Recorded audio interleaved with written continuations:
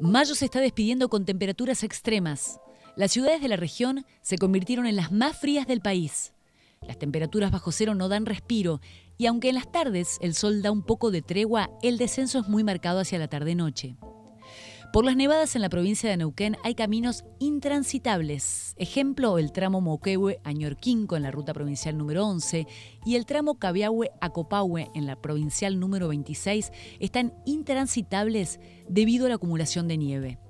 El paso internacional Pino Achado, Cardenal Zamoré y Guaum se encuentran habilitados pero con muchísima precaución. El otoño en la región mantiene las temperaturas máximas en torno a los 10 grados y las jornadas empiezan con mínimas de entre 5 y 6 hasta 15 grados bajo cero en la región sur.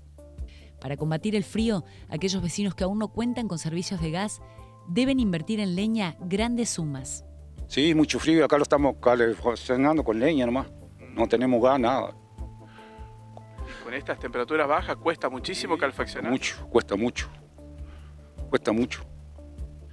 Y eh, me decía que recién alcanzó a prender la estufa para calentar. Sí, para calentarla, para poder levantar ahora como las 12, por ahí la 1 la voy a levantar recién cuando recién se caliente la cocina, pues si no, no. En realidad uno se tiene que acomodar en el verano, porque sabemos que la línea sur es muy fría, pero no contábamos con estas heladas tempranas, que son heladas muy tempranas.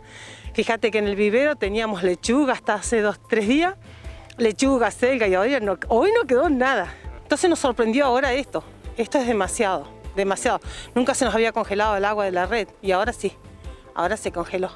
Pero bueno, hay que estar prevenido también, ¿viste? Es cuestión de que uno mismo busque la, la solución temprana y no cuando pasen estas cosas. Vivir en la región sur implica luchar contra las adversidades. Criar a los animales en días con estas temperaturas también se convierte en un desafío.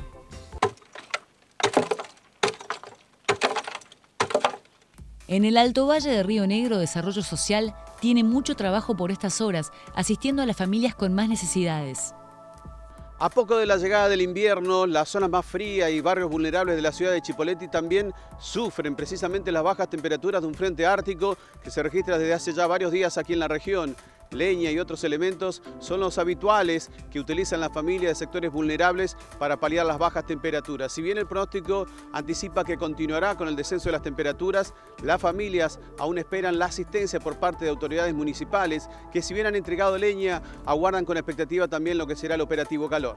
Por un lado estamos culminando el primer mes del programa Compromiso Calor, este programa que, como ustedes saben, este, se desarrolla durante los cuatro meses de, menores temperaturas y estamos culminando la primera ronda. Eh, hoy a la mañana, pidiendo informe, eh, gratamente recibimos la novedad de que no han habido pedidos, grandes pedidos de leña extra. Esto quiere decir que eh, el dispositivo del programa y la modalidad ha dado resultado. De todas maneras, llamando al 109, estamos entregando.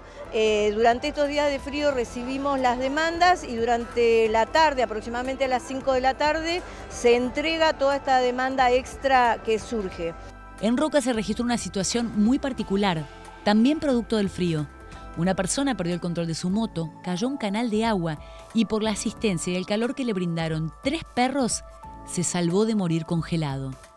Los animales son una parte importante de unos, ¿no? Algunos dicen perro, pero no saben qué significado tiene la palabra perro, porque creen que el perro es algo que tienen que tener tirado afuera. Muchas personas piensan así. Es llamativo, ¿no? Que se haya visto esta persona cubierto por los perros, porque él no se podía mover.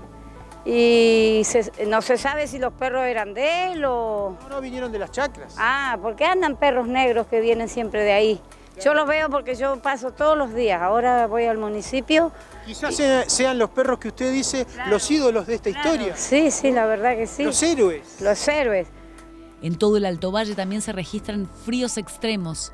La complejidad para circular se registra en rutas, calles y caminos. Y no solo en horas de la madrugada. Por las bajas temperaturas, el asfalto se mantiene congelado a pesar de la salida del sol.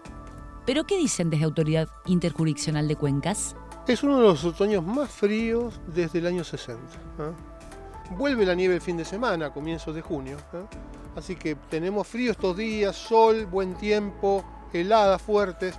Y el fin de semana en cordillera nevadas, algunas lluvias y frío polar nuevamente, así que esta primera quincena de junio parece más invernal nuevamente que otoñal, así que más de lo mismo. Una primera parte de la semana con mucho sol y helada, segunda parte de la semana más nublado, eh, frío, algunas nevadas en cordillera, ese es el panorama. Hacia mediados de mes nuevamente aire polar con nevadas y frío. Por ahora no son fenómenos intensos, sino tienen alguna similaridad con lo que hemos tenido, menos. O sea, en general los años deficitarios o secos tienen estos ingresos de aire polar, donde la nieve domina, pero tampoco en, en enormes cantidades. Lo que sí va a pasar esta semana es que va a haber nevadas hasta el norte argentino, todo lo que es La Rioja, Catamarca, San Juan, norte de Cuyo, van a recibir nevadas